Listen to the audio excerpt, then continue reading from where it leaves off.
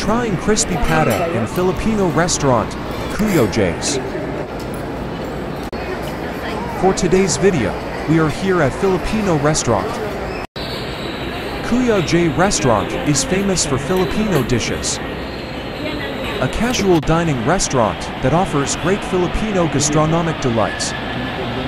Here are some of the glimpses of their menu. Feel free to pause the video. They also have some side dishes and upgrades for solo meals. There are plenty of choices to choose. They have varieties of beef, chicken, pork, and seafood. They also have some vegetables and noodles as well. They also have set meals called solo, solo for those who cannot decide what to order. For our first dish, this is called sizzling tofu. I guess it's tofu only because it's not sizzling anymore. It looks creamy and looks nice with those spring onions on top. You can see how the tofu was finely fried.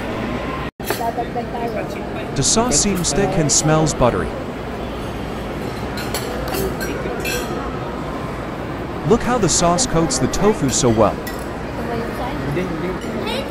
Now let us try our first bite. Here we go. I like the texture of the tofu.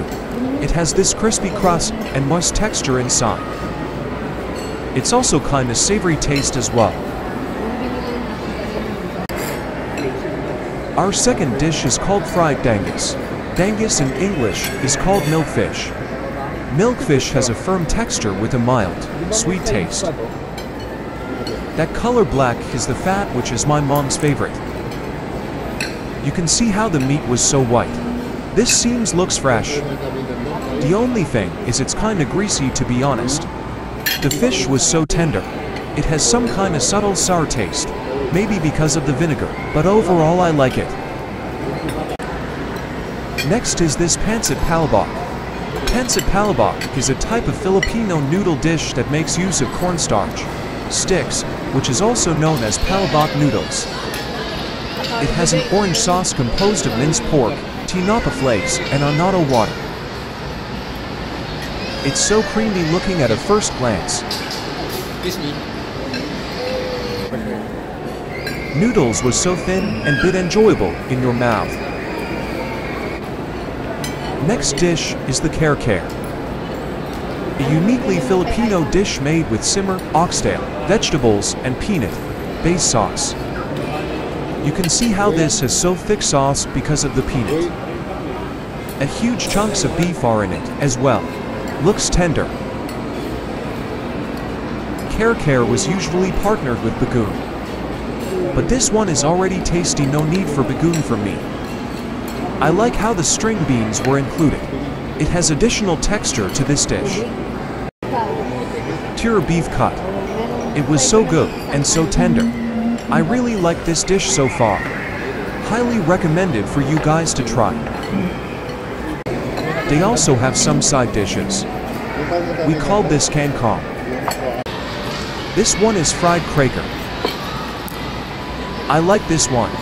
This seems crunchy and salty. We called this one as ensalada. Side dish mixed with onions, tomato, and cucumber. Last is fried sweet potato.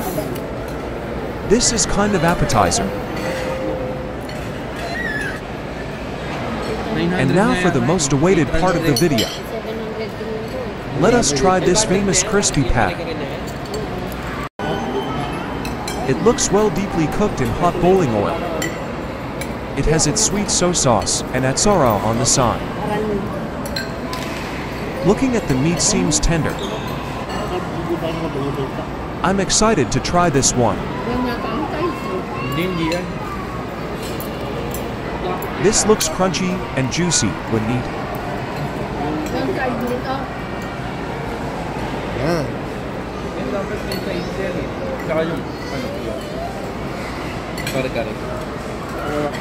Let us get some atsara to add additional taste to it. Atsara is fermented shredded papaya. Kinda sweet taste.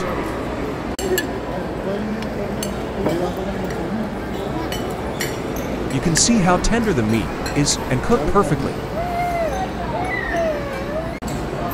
Of course, we need to try this crispy pata skin. So crunchy, and I really love this one.